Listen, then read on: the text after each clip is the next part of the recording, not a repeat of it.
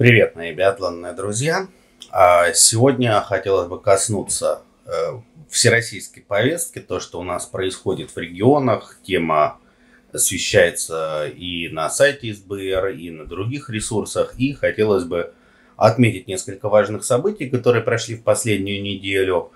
Э, и, в общем-то, об этом мы сегодня поговорим. Ну а завтра, как все помнят, э, гонка в городе в Висбадене, где побежит наш Карим Халили, и мы обязательно подробно разберем эти соревнования уже в понедельник э, и подведем их итоги.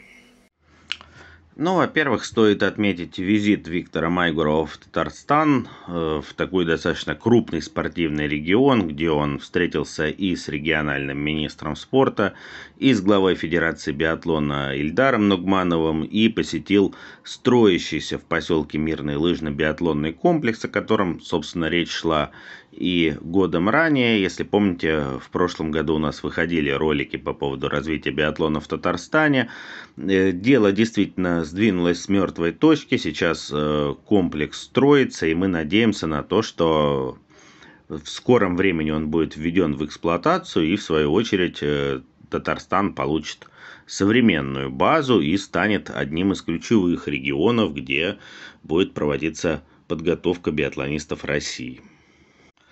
Другой важной инициативой Союза биатлонистов является антидопинговая программа, которая наконец стала внедряться. И хорошо, что антидопинг есть и в официальной программе СБР «Биатлон 2026, которая, в общем-то, создана во многом по образу и подобию аналогичной программы Международного союза биатлонистов.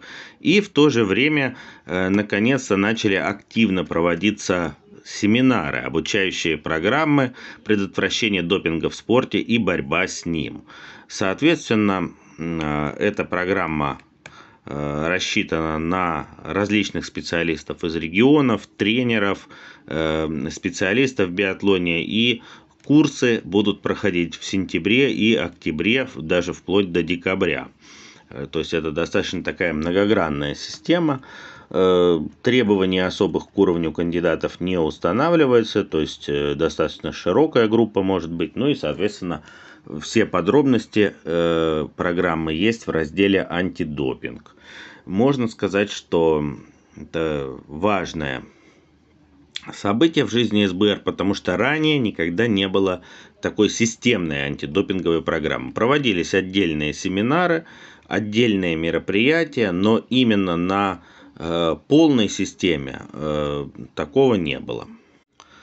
Э, кроме того, приятно сообщить, что возобновилась наконец э, серия турниров Мастерс. Это ветеранский биатлон, но ветеранский биатлон надо понимать как. То есть, с одной стороны, есть ветераны, которые были в прошлом известными биатлонистами и не охладели до сих пор к любимому виду спорта. Есть люди, которые просто как любители занялись э, биатлоном уже в солидном возрасте и стали соревноваться не среди профессионалов, а среди мастерс в определенных возрастных группах. Э, то есть эти люди специально готовятся к соревнованиям, проводят э, сборы подготовительные и Э, выступают в конечном итоге сначала на всероссийских, а потом и на международных стартах.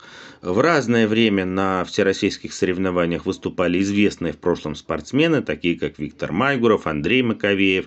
Ну, конкретно сейчас в Рязани э, прошел э, летний чемпионат России категории «Мастерс», где собралось более 60 участников на комплексе «Алмаз», построенном меценатом биатлона Сергеем Колесниковым. Сам Колесников также принял участие, как и другие э, активисты этого движения, Юрий Охотников, Вадим Трефилов и прочие. Кроме того, среди участников был замечен Артем Ушаков, мастер спорта международного класса, который в свое время входил и в состав сборной России.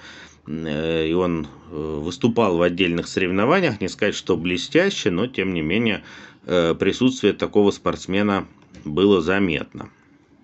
Далее э, также прошел этап Кубка страны в Ульяновске. Ну и, собственно, дальнейшим ориентиром для наших ветеранов является февральский чемпионат мира, э, который пройдет в Алма-Ате. Это такой евразийский турнир Мастерс. Но ожидается, что там выступят представители России, Казахстана, Белоруссии и других стран постсоветского пространства. Неофициальный чемпионат мира, конечно же, потому что в пандемийную эпоху э, соревнования ветеранов организовывать становится весьма проблематично.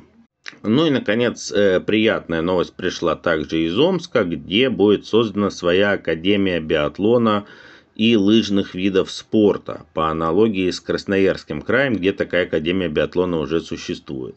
Об этом, собственно, решение было принято в ходе рабочей встречи главы региона Александра Буркова и президента СБР Виктора Майгурова. Как видите, Виктор Викторович активно ездит по различным регионам, и, э, собственно, аккумулирует процессы, которые должны развивать биатлон в нашей стране. Э, цель данной Академии биатлона будет подготовка спортивного резерва для э, сборных команд, в том числе России, по таким видам спорта, как биатлон и лыжные гонки. Ну, еще бы Омск Э, располагает достаточными географическими, климатическими и человеческими ресурсами, чтобы развивать эти виды спорта. Ну и, естественно, опорные пункты данной академии будут находиться в Муромцемском районе, Советском парке Омска и на лыжной трассе в Крутой Горке. В общем-то, хочется верить, что омский биатлон после этого воспрянет и у Яны Романовой э, появятся достойные преемники уровня сборной России, которые будут достойно представлять нашу страну э, в мировых биатлонных состязаниях. Ну а на этом у меня все. Подписывайтесь на наш канал и не заходите на штрафные круги.